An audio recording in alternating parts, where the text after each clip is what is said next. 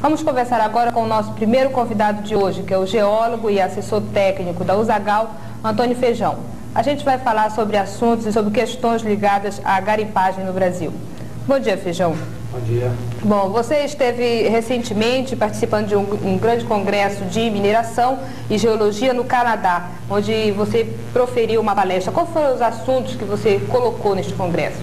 A mensagem que nós levamos ao Canadá a toda a comunidade, de um certo modo, dos Estados Unidos e da Europa, que lá participaram, é que a atividade é, garimpeira hoje, que ocorre na Amazônia Legal, ela está se disseminando principalmente em função de uma necessidade de sobrevivência, da miséria que está migrando para a floresta, mais do que uma necessidade de enriquecimento, uma busca de enriquecimento.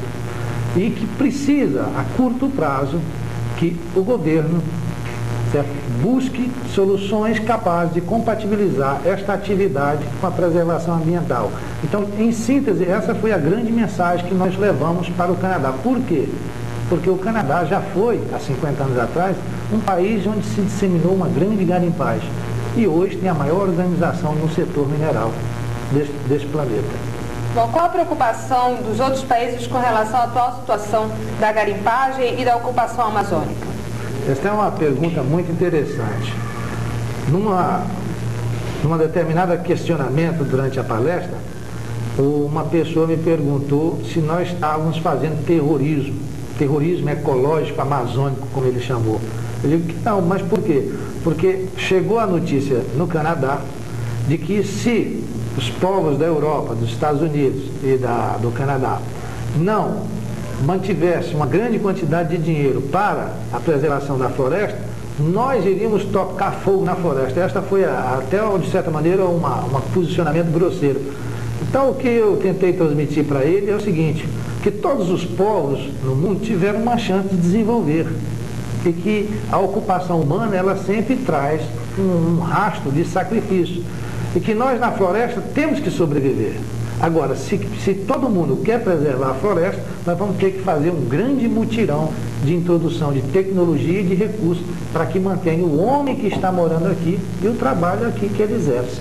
Bom, vejam, os Estados Unidos, a Austrália, Austrália a África do Sul, né, são países que, onde ocorreram famosas corridas do ouro, como aqui houve no Brasil no século XIX. Né? Bem como o que ocorre atualmente na Amazônia. Por que se instalou esse estado de miséria em todas as regiões garimpeiras? É, sempre que eu estou fazendo uma abordagem sobre garimpagem e falando sobre a Amazônia, me pergunto, o ouro é uma grande riqueza, o ouro gera grandes divisas, e por que que sempre nos garimpos nós temos miséria? Porque nos outros países que você citou aí, Canadá, Austrália, África do Sul, certo? Estados Unidos, houve essa mesma corrida de ouro, mas as cidades onde foram os garimpos são cidades bem desenvolvidas. Eu cito um exemplo como Joanesburgo, na África do Sul, onde eu conheci, estive lá. Há 100 anos atrás, Joanesburgo era uma vila pior do que a Vila do Lourenço. A Vila do Lourenço era há 100 anos atrás o que ela é ainda hoje. O que, que diferencia da Vila do Lourenço para o que é hoje é só a miséria que aumentou. Então, o que, a diferença destes países para o nosso Brasil e para a atualidade da ocupação amazônica na força do ouro é que está faltando a chegada da administração pública. Porque o homem que está entrando para a Amazônia, o pensamento imediato dele não é construir uma casa de alvenaria. O pensamento imediato dele é preparar o dinheiro para comer no dia seguinte. Então é mais uma questão de sobrevivência. Então a, eu acho que a diferença básica está que é preciso que o governo chegue junto para dar o suporte técnico, o suporte de retorno social para organizar essa atividade. Bom, e qual seria a solução para um milhão de brasileiros que sobrevive da, da garimpagem, na maioria das vezes colocando em risco a sua vida e até a vida da natureza? É. A, garimpagem, eu comparo muito ela como uma fogueira em que você vai acendê-la. Então você coloca muita palha em cima, certo? E toca fogo. Imediatamente sobe uma chama muito forte, com muita fumaça. Este fogo, esta chama forte, é a garimpagem. Certo? Depois vai sedimentar uma chama branda, com, vai gerar brasas. Certo? Esta é a mineração, é a, o segundo estágio. Então, toda esta fase que a gente pode fazer uma comparação com essa fogueira, ela vai acontecer. Então nós estamos na fase em que a palha está se acabando. Só que não estão preparando esta quantidade de gente para outras atividades. Quais seriam essas atividades que são compatíveis com a floresta, com a preservação e com a cultura do homem? Não adianta eu trazer para cá para o homem ser digitador de computador, porque o que ele sabe é trabalhar no pesado. Ele não tem mais jeito de aprender como digitar no computador. Então, essas atividades seriam principalmente ligadas ao setor produtivo da floresta, seja piscicultura, ou seja, criação de peixe, de camarão, seja uma agricultura racional com a região, seja, por exemplo, extrativismo vegetal. A Europa toda usa perfume com essências da Amazônia. E, no entanto, esta riqueza não está sendo distribuída pela população.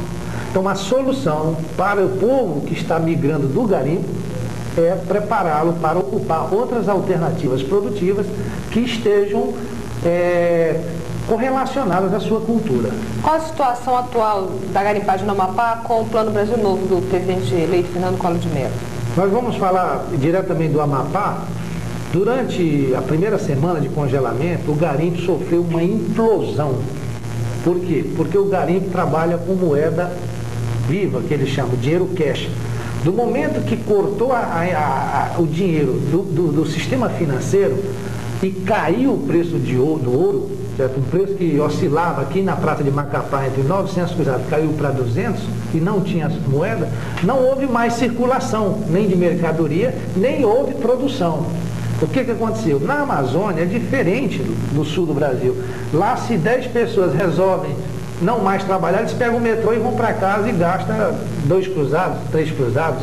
Aqui, lá de Lourenço para cá, você precisa, se tiver condições da estrada, de um caminhão ou dois, passa um dia todo, ou de avião, quando é o lugar mais fácil. Então, do momento que o plano cortou a moeda de circulação, o garimpo entrou num estágio de implosão. E isto agravou o problema das vilas que dão suporte para os garimpos, que dão rancho, que vendem óleo. E este processo está que a gente chama, está vindo em direção a Macapá. Por quê? O garimpo já está numa fase terminal, não tem mais aquela euforia que teve na época de Serra Pelada. E esta pobreza está migrando para Macapá. E se nós não prepararmos, como eu falei antes, alternativa para manter este homem no, no interior, ele vem para a miséria da periferia, inchar cada vez mais as favelas de Macapá. Mudando de política da garimpagem para política partidária, é, Comente-se que você é candidato a deputado federal. É verdade ou não? É, a, a União dos Sindicatos e Associações Garimpeiros da Amazônia Legal, ela resolveu mudar um pouco o posicionamento nosso aqui na Amazônia. Até hoje nós temos recebido as leis para cá, para a Amazônia, feitas por pessoas que não conhecem a nossa cultura. Certo? Então o que é que é melhor? Nós que somos daqui, somos amazônidas, irmos para Brasília e prepararmos as leis para nós mesmos cumpri-las.